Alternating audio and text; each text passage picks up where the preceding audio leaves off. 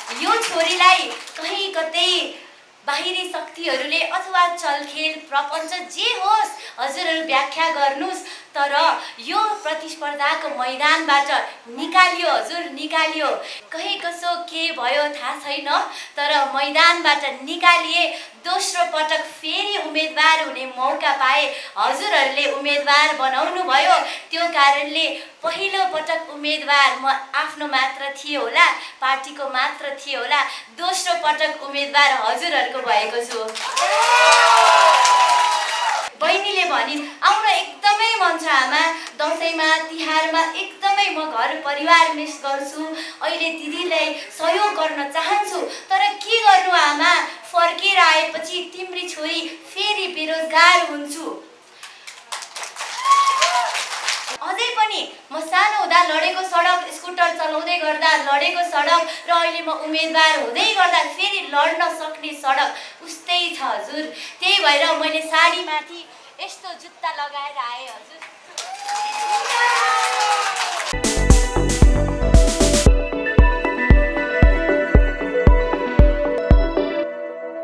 म डाक्टर कार्की म आउनै नपाउँदै यति यो हल गुन्जायमान पारिदिनु भएको छ।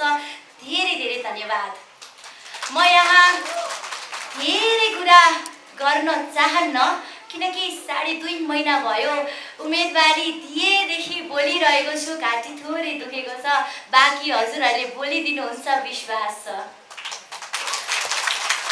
सर्वप्रथम त म शब्दबाट युथ क्लबलाई हार्दिक बधाई दिन चाहन्छु किनभने गत वर्षको ए डिभिजन लिगमा उत्कृष्ट प्रदर्शन गरेर हाम्रो देशलाई एउटा ऐतिहासिक क्षणको रूपमा स्मरण गर्न लायक एउटा उपलब्धि हासिल गर्नको लागि ठुलो योगदान पुर्याउन सकेकोमा शब्दबाट युथ क्लबलाई धन्यवाद। अर्को विशेष धन्यवाद ललितपुरकी छोरी तपाईँहरूको आफ्नै असल इमान्दार तपाईँहरूले हुर्काउनु भयो बढाउनु भयो पढाउनु भयो डक्टर बनाउनु भयो अब केही गर्छु भनेर आएको छु उठेको छु।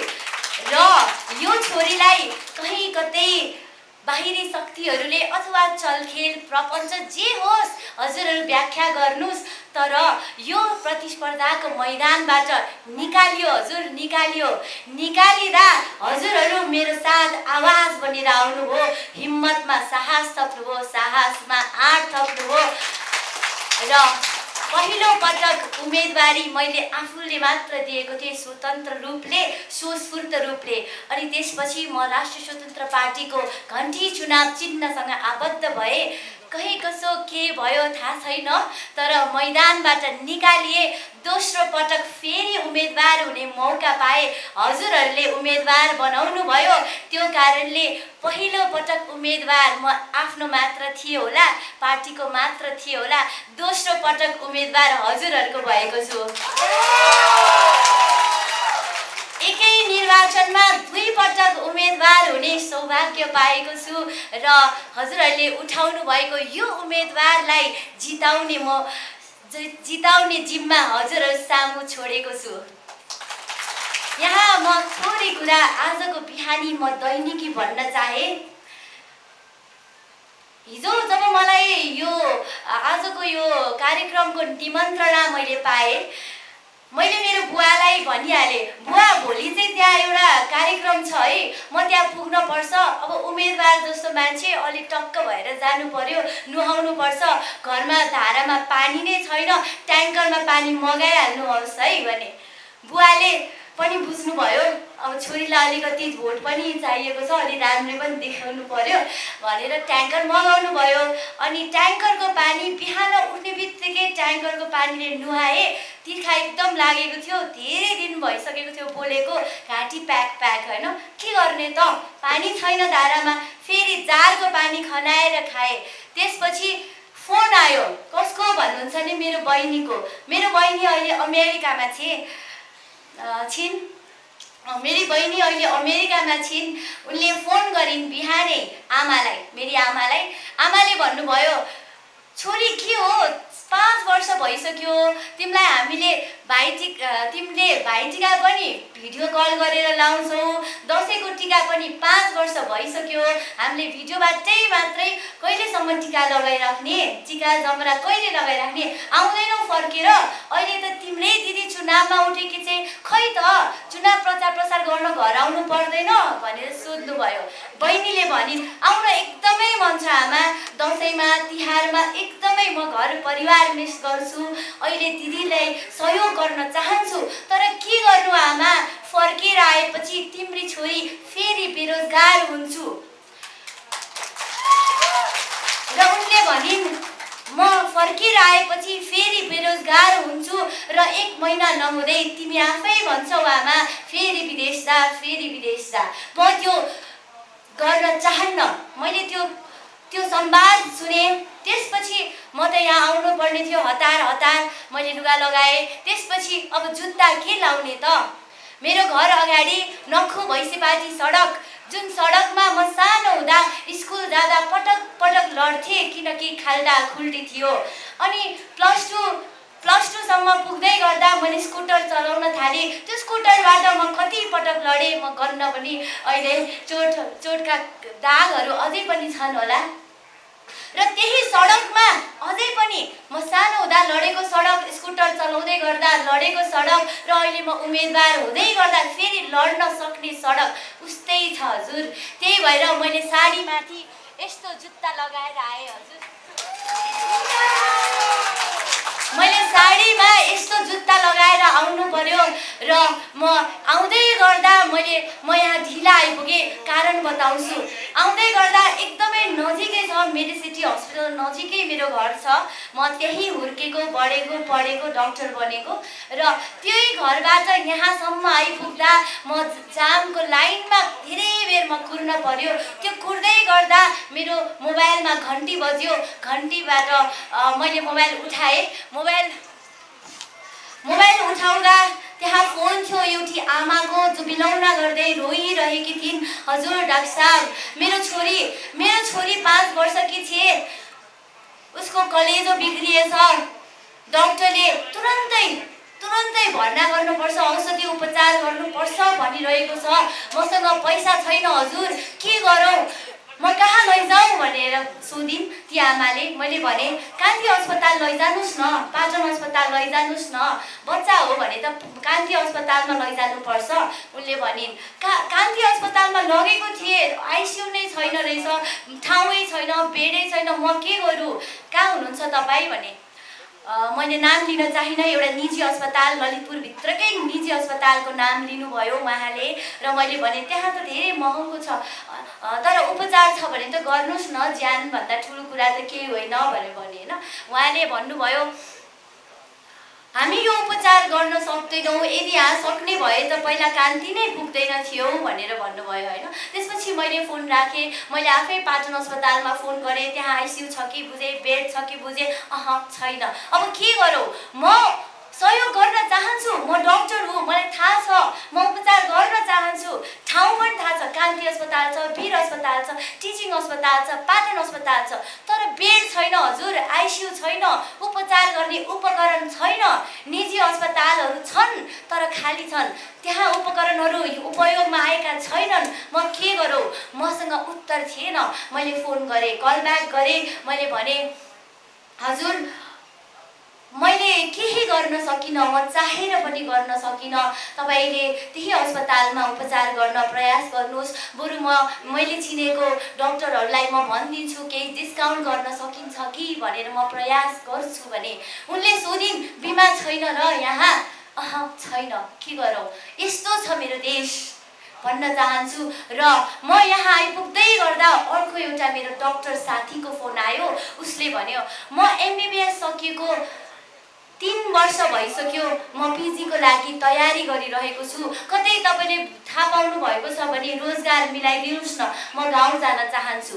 मैले भने गाउँ जाने हो भने दरबन्दी को कुरा गर्न सकिन्छ? त्यहाँ भ्याकेन्सी भन डक्टर नपुगेको पनि अवस्था छ। म कुरा गरिदिन्छु भने।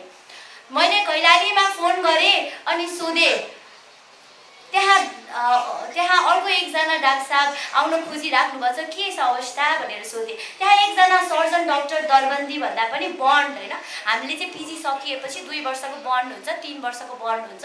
त्यो बन्डमा गइराख्नु भएको मेरो मित्रले भन्नुभयो म जेनरल सर्जन हुँ। मैले यहाँ सिटामोल बाँडिरहेको छु।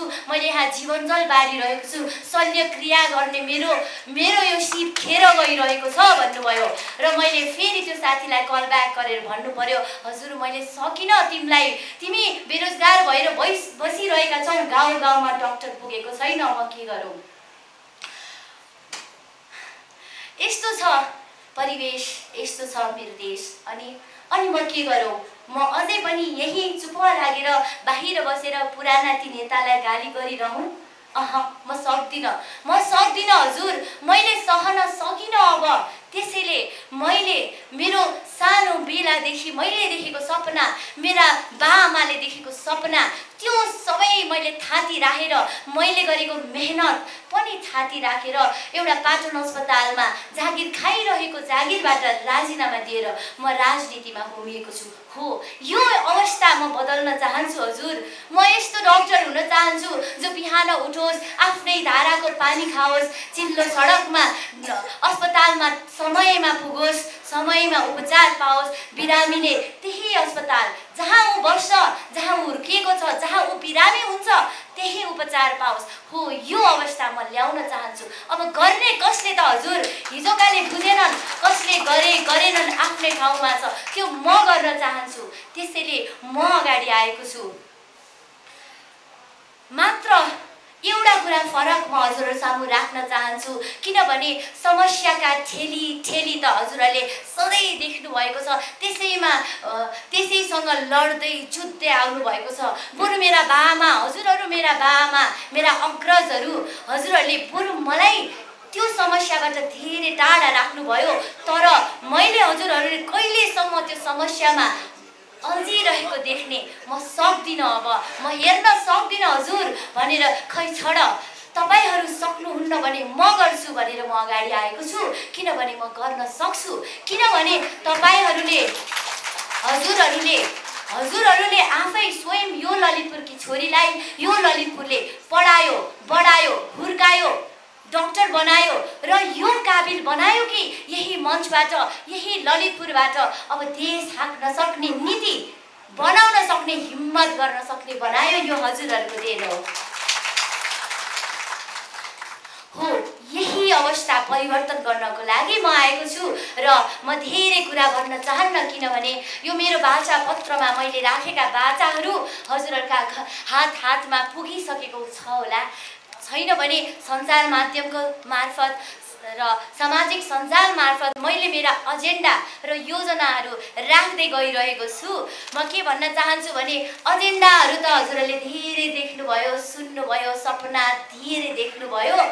मैले चाहिँ एउटा फरक एजेन्डा लिएर आएको छु है। सडक खानेपानी वातावरण शिक्षा स्वास्थ्य रोजगारी कृषि उद्योग एजेन्डा त सबैले ल्याए नि होइन र ल्याए नि दशकौँदेखि ल्याए नि पटक पटक भोट हाल्यौ नि मैले पनि हालेँ। मेरै आफ्नै बाले भन्नुभयो छोरी यो चिन्हमा यो पालि भोट हाल। है मैले पहिलो पटक मेरो बाले भनेको ठाउँमा भोट हालेँ। मैले भने किन बाबा? यस्तो सडक छ खानेपानी यो यो समस्या छ समाधान हुन्छ। हुन्छ बाबा भनेर मैले त्यसमै भोट हालेँ। पाँच वर्ष बित्यो अर्को चुनाव आयो। मैले भने बाबा तपाईँले भन्नुभएकोले त गरेन नि। यसपटक म आफै भोट हाल्छु भने त्यसपछि मैले खोजेको रोजेकोमा मैले भोट हालेँ। अह त्यसले पनि गरेनन् हजुर त्यही भएर तेस्रो पटकको यो निर्वाचनमा मैले भने बाबा तपाईँले भनेकोमा पनि भोट हाले। धेरै हजुरले पनि हाल्नुभयो होला। यसपटक छोरी आफ्नै छोरीलाई भोट हालेर हेर्नुहोस्। अब म गरेर देखाउँछु। र अर्को कुरा मैले भने नि सडक शिक्षा रोजगारी वातावरण खानेपानी स्वास्थ्य शिक्षा यी सबैका समस्या योजनाहरू धेरै धेरै देखियो एजेन्डा धेरै देखियो। मसँग एउटा फरक एजेन्डा थपियो। के भन्नुहुन्छ भने इमान्दारिताको एजेन्डा यो मैले लिएर आएको छु। यो एउटा थप इमान्दारिताको एजेन्डाले विगतका सम्पूर्ण सम्पूर्ण अन्य दलका र अहिलेसम्म जनताले खोजेका हरेक एजेन्डा पुरा गर्न सकिन्छ। पाँच वर्षमा इमान्दार रहेर देशभित्रकै जनशक्ति देशभित्रकै बजेट देशभित्रकै स्रोत साधन उपयोग गरेर देशभित्रै उत्पादन गरेर देशलाई स्वस्थ बनाउन सकिन्छ समृद्ध बनाउन सकिन्छ भन्न चाहन्छु र म र मेरो चुनावी नारा मेरो मूल एजेन्डा बोल्ने नारा स्वस्थ नेपाली सुखी नेपाली डक्टर तोसिमालाई भोट यसपालि। यो स्वस्थ भनिराख्दा म डक्टर भएको हिसाबले स्वस्थ भन् मात्र भनेको होइन। राजनीतिमा हेर्नुहोस् त कति प्रदूषण छ समाजमा हेर्नुहोस् त कति प्रदूषण छ। यो प्रदूषण सफा गरेपछि स्वस्थ राजनीति हुन्छ। स्वस्थ देश हुन्छ स्वस्थ जनता हुन्छ र स्वस्थसँग वातावरण जोडिन्छ स्वस्थसँग तपाईँको सडक तपाईँको घर अगाडिको खाल्डो भएको सडक पुरिन्छ स्वास्थ्यसँग त्यो ढल निकास हुन्छ स्वास्थ्यसँग खानेपानी जोडिन्छ कृषि जोडिन्छ स्वास्थ्यसँग शिक्षा जोडिन्छ र स्वस्थ मान्छे नै आत्मनिर्भर हुन्छ र रोजगार देशभित्रै बनाउन सकिन्छ। हस् हजुर मैले धेरै समय यहाँ लिइराख्नुपर्छ जस्तो लागेन र लिन पनि चाहन्न। मैले धेरै बोल्ने प्रयास गरेँ मैले धेरै मेरो क्षमताले भ्याएसम्म मैले मेहनत गरेको छु घर घर पुग्ने प्रयास गरेको छु हरेक व्यक्ति भेट्ने। मैले कोसिस गरेको छु तर बुझिदिनु होला किनभने तपाईँको यो छोरीले उम्मेदवार हुनैकै लागि पनि आधा उधी समय खर्चिसकेको छु सङ्घर्ष गरिसकेको छु समय आदि त्यता व्यतीत भइसकेको छ। बुझिदिनु होला मैले चाहेर पनि कोसिस गरेर पनि धेरै व्यक्तिलाई भेट्न सकिरहेको अवस्था छैन। मैले एकदमै मेहनत गर्ने कोसिस गरेको छु थोरै मेहनत हजुरहरूले पनि गरिदिनु होला। र अन्त्यमा म भन्न चाहन्छु डक्टर तोसिमा कार्की हजुरहरूले बनाउनु भएको छोरी हो। म जन्मिएको मात्र होइन नि आज यो लायक कसले बनायो? हजुरहरूले बनाउनु भयो। त्यसै कारणले निर्धक्क भएर घन्टी चुनाव चिन्हमा मक्सी चार गते भोट हाल्नुभयो भने त्यो भोटको कदर गर्न यो छोरीले सक्दो इमान्दार भएर आफ्नो योग्यता उपयोग गरेर हजुरहरू मेरा बा आमा अग्रजहरूको म सान राख्नको लागि उठ्नेछु लड्नेछु ललितपुरका मुद्दालाई राष्ट्रिय मुद्दा बनाउन मन लागि पर्नेछु। हजुरहरूसँगै सर सल्लाह सुझाव लिन र समस्या सुन्न पटक पटक आउनेछु। म आएर दुःख दिनेछु है हजुरहरूलाई घर घरमा फेरि पनि। हस् नमस्कार।